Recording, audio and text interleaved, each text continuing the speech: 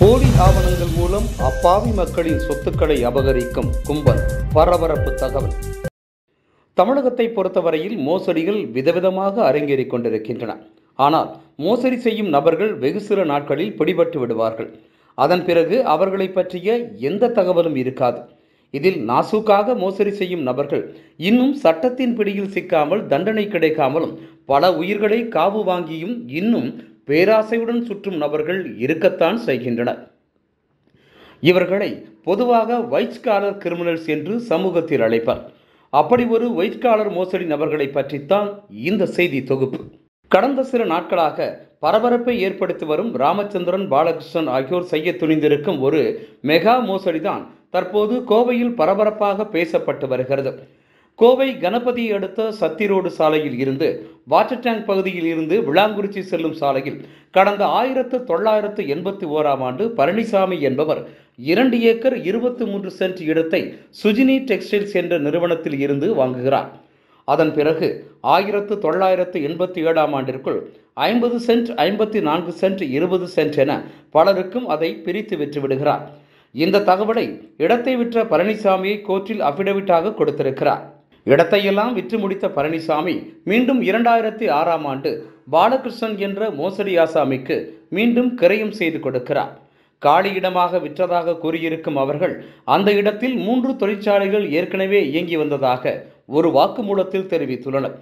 இந்த இரண்டு ஏக்கர் இருபத்தி மூன்று சென்ட் நிலத்திற்கு வெறும் பத்து லட்சம் ரூபாய் மட்டுமே வாங்கியதாகவும் பழனிசாமி கூறியிருக்கிறார். இடத்தை வாங்கிய ஒரே வாரத்தில் பாலகிருஷ்ணன் ஐம்பத்து ஓர் பேர் மீது வழக்கு தொடர்ந்திருக்கிறார். ஆனால் அந்த நிலத்தின் உண்மையான உரிமையாளர்கள் அதிர்ச்சியானார்கள்.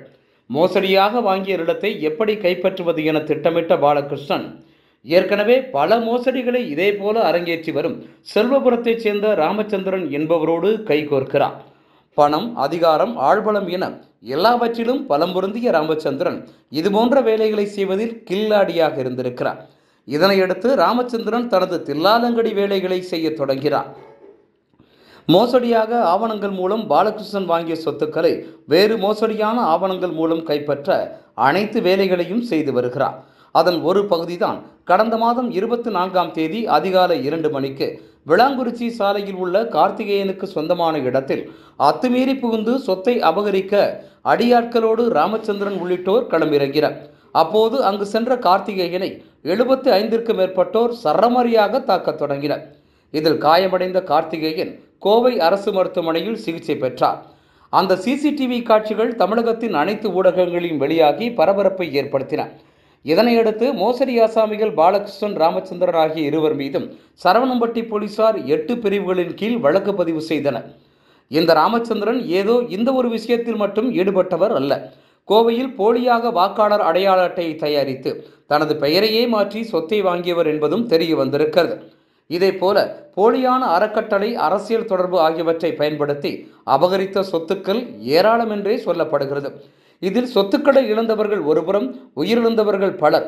தமிழகத்தின் பல பகுதிகளில் மோசடிகளை அரங்கேற்றியிருக்கும் ராமச்சந்திரன் உள்ளிட்டோர் சட்டத்தின் பிடியில் சிக்கும் நாள் வெகு தொலைவில் இல்லை. ராமச்சந்திரா ஃபைனான்ஸ் தவிர ஆறுமுகம் அவங்க எல்லாருமே ஏமாத்திட்டாங்க சார்.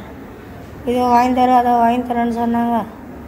இந்த ஒயிட் காலர் கிரிமினல் ராமச்சந்திரன் மீது சட்டப்படி நடவடிக்கை பாயுமா என்பதுதான் சொத்துக்களையும் உயிரையும் இழந்த அப்பாவி பொதுமக்களின் கோரிக்கையாகும். நீதி கிடைக்கும் என்ற நம்பிக்கையோடு இந்த விஷயத்தில் பலரும் காத்திருக்கின்றனர்.